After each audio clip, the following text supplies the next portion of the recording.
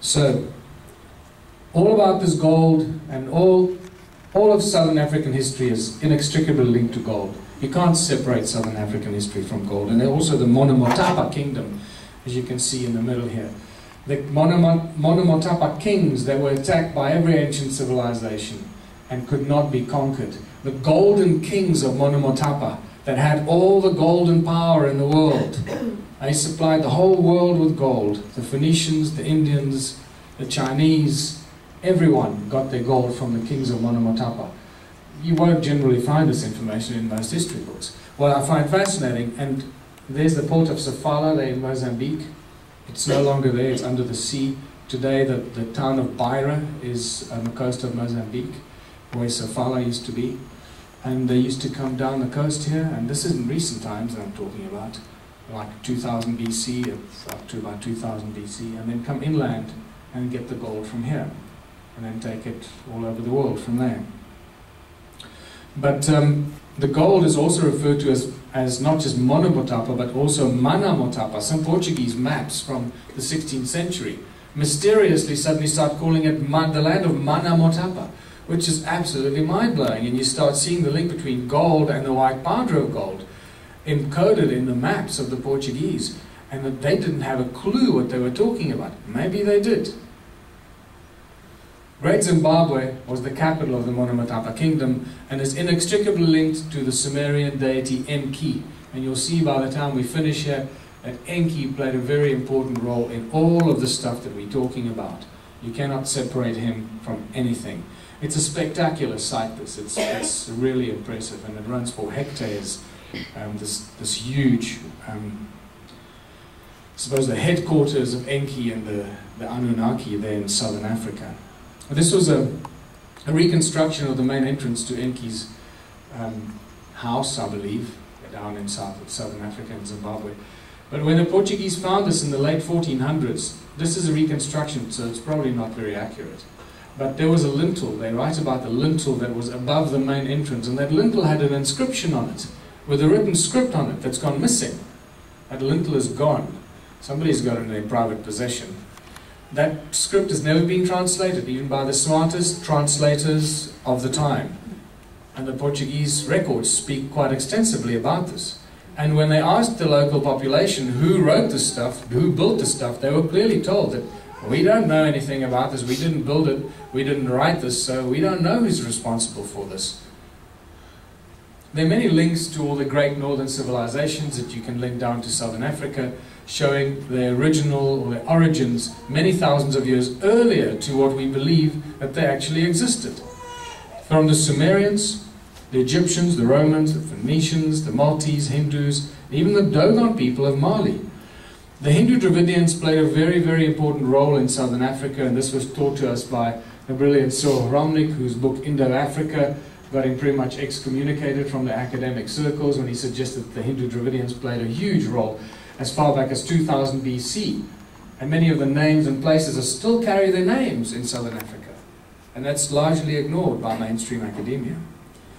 Um, and they left some of the stone structures the symbols of fertility, for example, encoded in this structure and various other signs that make us believe that they link to some of the stone structures in more recent times. The Romans were there, 138 AD, Antoninus Pius, Roman emperor, this gold, this coin was found 25 meters deep in a gold mine in Zimbabwe. The Phoenicians were there, various um, artifacts with carvings that suggest this was very strongly um, Phoenician have been found in southern Africa. This Babylonian coin from 300 BC was found in South Africa when they were digging the foundations for the Mariannhill Monastery in KwaZulu-Natal, one of the provinces of South Africa. This is a, a carving which is one of the four seeds of life that you find among the Dogon people of Mali. It's like this incomplete circle with these lines coming out at very specific points. What I'd like you to pay attention to is the erosion on this carving and this huge crack that has appeared through the carving, which clearly suggests we're dealing with something extremely old that is linked to the Dogon in Mali. This Egyptian headrest on the left, clearly seeing the pillars of Egypt, the architecture of Egypt, and then the headrest from South Africa on the right, showing us the circles the stone circles and concentric circles, and the headrest from South Africa. But when you look closer at the headrest from South Africa, you see beautifully carved Maltese crosses in this headrest. Three of them beautifully carved. What on earth are Maltese crosses doing on a headrest in South Africa? And obviously, once you've got Maltese crosses, you can link them to the Knights Templar, and you start this whole chain reaction that goes back for as far as back as you want to ride that wave. The Egyptian Ankh is recognized as an Egyptian symbol, one of the most recognizable symbols in the world. Egyptian Ankh. And where again, where does this Egyptian Ankh come from? You know that the Egyptians used it for healing. We know this. It was the, the, the key to eternal life and universal knowledge. We also know, I don't want to go too much into this because it's so easy to get to get digressed on these because they're so juicy. This carries so much information. I'd love to just go into it. Just want to very quickly tell you each. You'll always see that these these gods and the kings and the priests in Egypt always carry their own ankh. There's a very specific reason for that because that ankh was very accurately accurately calibrated to their body, their body's energy field. Only then could you could they use it as a healing device or a levitation device or a whatever else they use it for, for many, many things. It's like a giant tuning fork that was that resonated and worked with your own body's resonance and harmonic frequencies. Very important. Well, did the Southern Africans know about it? You bet. Bet your bottom dollar they did. There's an ankh, beautiful ankh carved in a radiating circle, which suggests that it's telling us even more information about the ankh, that it was some sort of a device using sound or radiance or energy to generate um, from the Ankh that was used. And then one of my favorites, the cross in a circle, the well-recognized Sumerian cross in a circle. What does this mean in Africa? Mabona, Lord of Light, and you'll see how important that is. It is quite spectacular. The Sumerian winged disc, there's a carving on the right on a rock not too far from where I live. There are three lines coming out of it on the, on the right and there were others on the left, but very difficult to see in the light that I took it, unfortunately. What does this mean in African mythology? Great is the all-seeing Lord of the sky, Mabona. And you'll see once again how clever these people were, how they knew stuff that we're only rediscovering today, all about sound, light, resonance, harmonics, all the stuff that they just knew, and we just started to catch on today.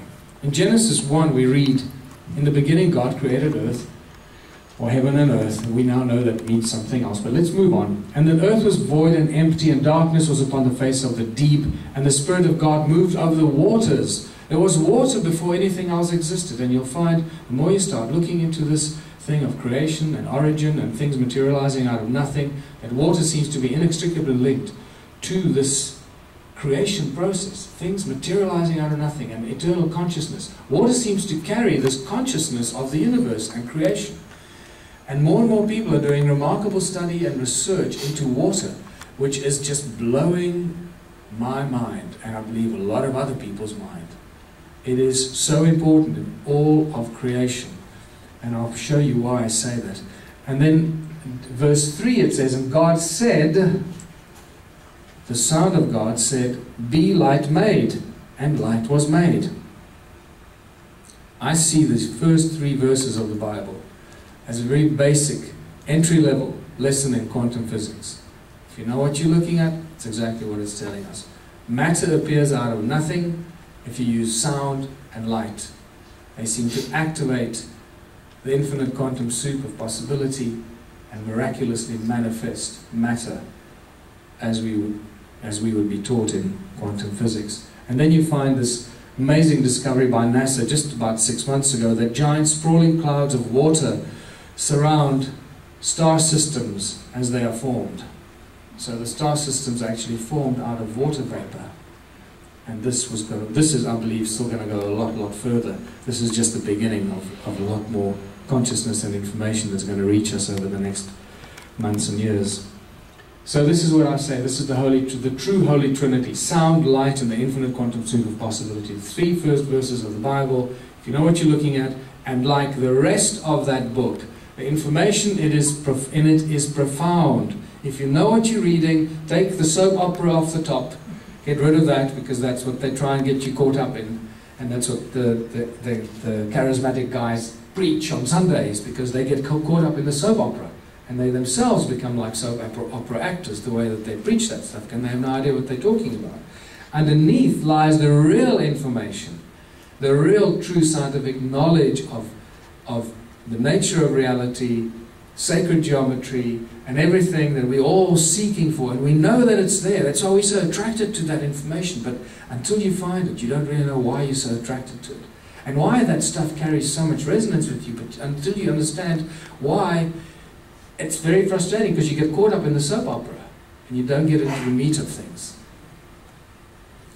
There it is. The Royal Holy Trinity. Father, the Son, not necessarily the S-O-N, but the S-U-N as in light. Sound, light, potential. Also important here, this homogeneous, this circle of unity, the three, the three circles of, of the creation inside it, if you want to call it that, the Holy Trinity. What does it form in the middle? A perfect hexagon. In there, um, very briefly, you start seeing the very important relationship between triple three and triple six. And once again, in Willem de Swart's research that I've been working with him on, the triple three, triple six relationship is absolutely crucial in the physical and the, the alternative um, um, dimensions between the physical and the dematerialization the space-time and time-space crossing over module. That's where you find the relationship of triple three and triple six in sacred geometry. If you want to go and work with that, if you're already working with it, you're on the right track. Um, there's a picture of an electron riding on a light beam or beam of light. Notice the, the concentric circles in the photograph of the electron. It's spectacular. It keeps telling us that we should be looking at the fundamental structure and not the fundamental particle. And the fundamental structure lies in the sacred geometry not in particles. Beyond the sound, beyond the speed of light. This is one of the best kept secrets in physics and science. In 2005, three high school students and, and uh, two undergraduates did some experiments to show that sound can move beyond the speed of light. Now, to most people, this will sound like magic. I'm going to leave that with you once you start understanding what sound really is, but it's not what we think it is. It's much, much more. It's the primordial creative source of all things. It was the sound of God that created all the things in the, in the universe. So everything comes out of sound. This is spectacular stuff, people. So now that you understand that there's water first, then sound created all of, manifested all of physical materialization together with light, it starts to form a very interesting story and sequence of events that was going on here, that happened, that brought us all here. Sound and frequency, the common denominators of all religion and creation. As we said already, in Christianity, it's the Word of God that created all things. Firstly, light, and the sound and the light then combined and created all things. In Hinduism, it's the primordial Om or Aum that created all things. And